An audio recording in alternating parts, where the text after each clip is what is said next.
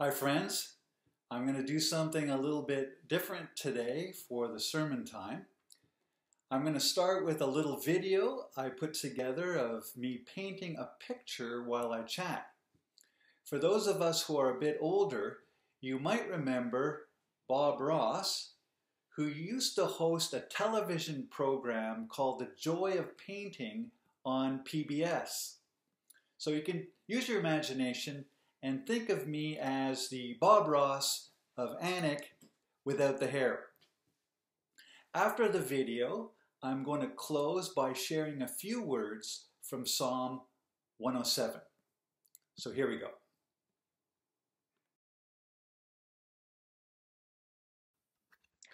Well, hi, friends. Uh, welcome to Pastor Paul's uh, office uh, slash studio slash creative hub. Um, and what I'd like to do today is simply paint. And uh, I'll show you what I'm working on now. I'm working on a ocean painting. This is a four foot by four foot um, acrylic painting that I've been working on for some time now. And uh, what I'd like to do is simply work on it. And as a backdrop to that, I'm going to share with you uh, some uh, some thoughts from the scriptures uh, concerning the sea. Um, so let's go.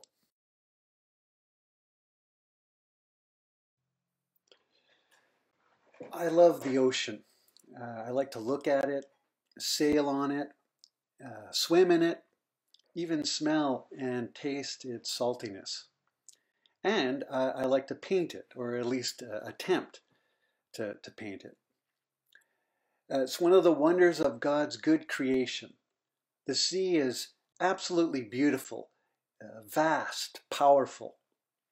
However, according to Revelations chapter 21, in the new creation, the new heaven and the earth, it tells us that there will be no more sea. Revelations 21 1. Then I saw a new heaven and a new earth, for the old heaven and the old earth had disappeared and the sea was also gone. Well, that's a bit of a surprise and a disappointment, isn't it? But as always, we need to look at the fuller biblical picture to understand what Revelation chapter 21 1 means.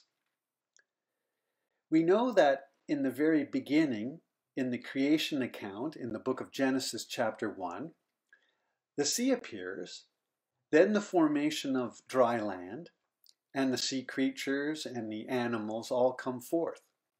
And the pinnacle of God's creation, human beings. And then it says, Then God looked over all he had made, and he saw that it was very good. But sadly, as a result of the fall in Genesis chapter 3, things quickly fall apart. By Genesis chapter 6, with the story of Noah and the great flood, the rising waters pose a deadly threat to the entire world that God had created. Of course, God saves Noah and his family and a host of animals by his sheer grace by instructing Noah to build an ark. It's a theme that is often repeated in the Bible. God coming to the rescue, pointing ahead, of course, to the greatest saving act when Jesus willingly lays down his life on the cross. Meanwhile, in the story of Noah and the flood, it seems that from the very good creation, the sea, is in some ways enacting God's judgment upon sinful humanity. Now, we don't hear much about the sea until the book of Exodus. And remember, God had heard the cries of his enslaved people in Egypt. He sends Moses to lead them from freedom, and soon, into the rescue, Moses and the Israelites find themselves trapped between the pursuing Egyptian army and the impassable sea in front of them. Well, you know the story. God makes a way through for them to rescue his people, and once more to impose his righteous judgment against those who oppose the will of God. The sea literally covers the Egyptian army. Psalm 77, verse 16. When the Red Sea saw you, O God, its waters looked and trembled. The sea quaked to its very depths. Another foretaste of the work of Jesus, rescuing us from slavery and death, and making a way forward into the promised land, the new creation. And often in the Gospels, there's a parallel between Jesus' story and the Exodus account. The Psalms have many references to the sea, often in relationship to the sea's great power. However, in Psalm 29 it says this, verses 3 and 4 The voice of the Lord echoes above the sea. The God of glory thunders. The Lord thunders over the mighty sea. The voice of the Lord is powerful. The voice of the Lord is majestic. Then it says in verse 10 The Lord rules over the floodwaters. The Lord reigns as king forever. In other words, God our King is mightier than the sea. In fact, Psalm 33, verse 7 tells us that the Lord assigned the sea its boundaries and locked the oceans in vast reservoirs. The Lord, of course, is above the sea. Listen to the beginning of Psalm 69, where the sea is used as a metaphor of being in trouble. Psalm 69, verse 1 Save me, O God, for the floodwaters are up to my neck. Deeper and deeper I sink into the mire. I can't find a foothold. I'm in deep water, and the floods overwhelm me. I'm exhausted from crying for help. My throat is parched. My eyes are swollen with weeping, waiting for my God to help me. Sometimes in life it seems that we are in it, so to speak, way over our heads. But it gets worse. The Bible uses the image of the sea to paint an even darker picture. In Daniel chapter 7, verse 2, it says this In my vision that night, I, Daniel, saw a great storm churning the surface of a great sea, with strong winds blowing from every direction. Then four huge beasts came up out of the water, each different from the others. These sea monsters, if you will, are waging war against the people of God. And so the sea, that Genesis chapter 1 portrays as something good that God has made, has now become a threat. Now, the Jewish people in ancient times were not known as a seafaring people. The sea came to represent the forces of evil and death, a dark power that might overwhelm you, just like the story of Noah and the flood. Or think of the storm at sea in the story of Jonah. Jonah's rebellion and disobedience was responsible for the storm. Now, there's a point that I want to make through this, pardon the pun, seafaring journey. Wouldn't you agree that the current situation in our world seems like we're floating in a stormy sea. A global pandemic. The threat of illness and perhaps even death lurk all around in the form of a microscopic virus. There's panic, there's fear in some quarters. We just don't know how this will end.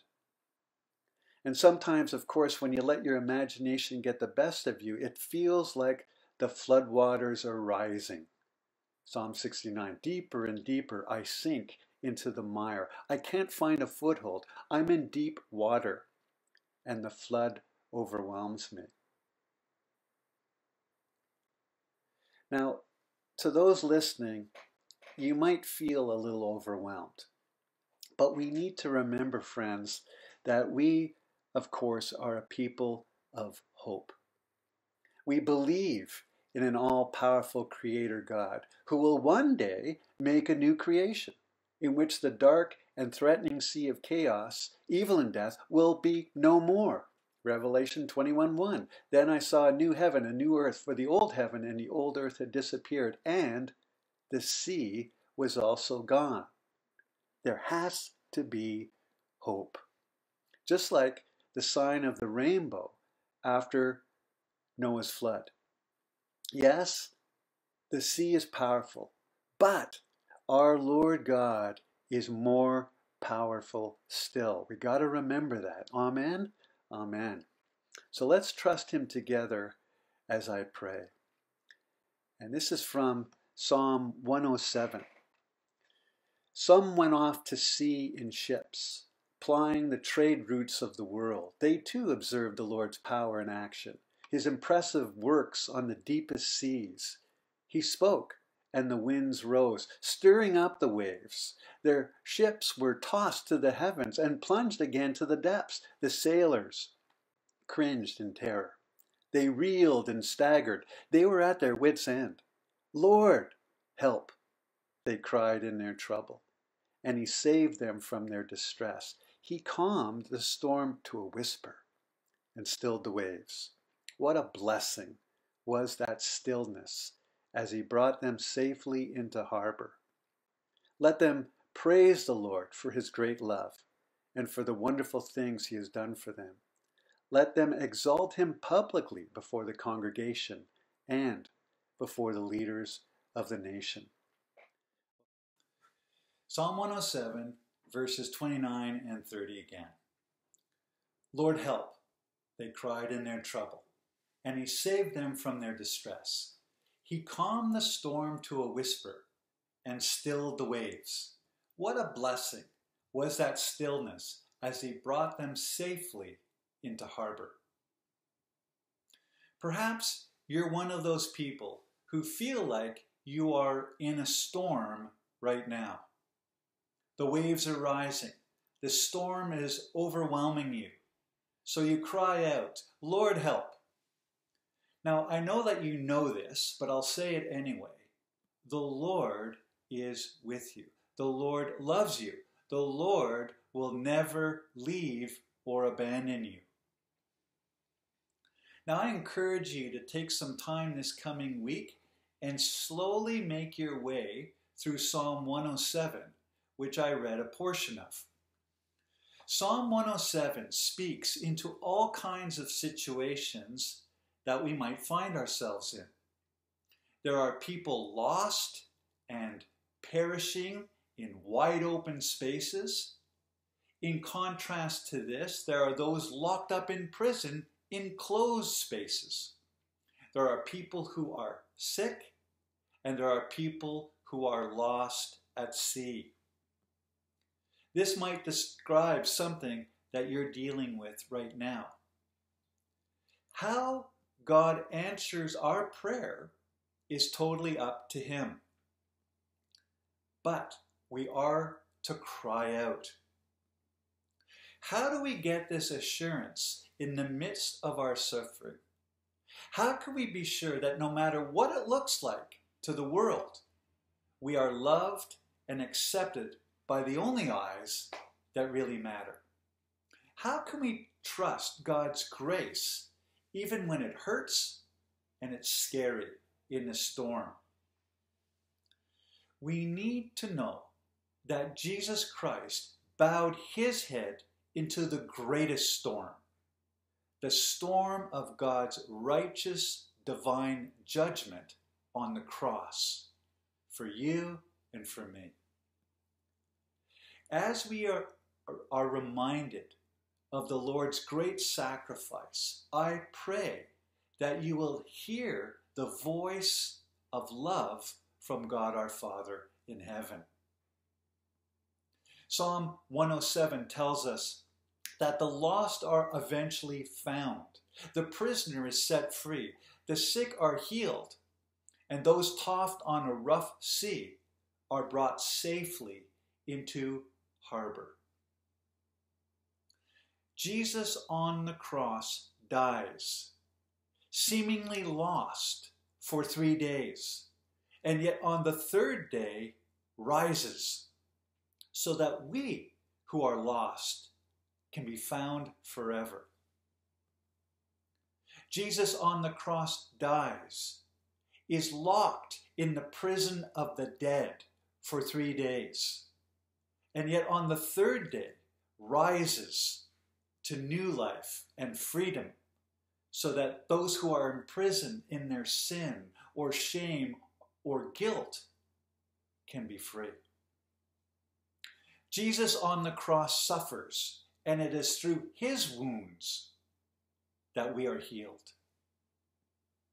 Jesus on the cross takes on all the forces of evil, darkness, and chaos, so that we can be assured of coming to that place in his forever kingdom where we will be safe and sound, a safe haven.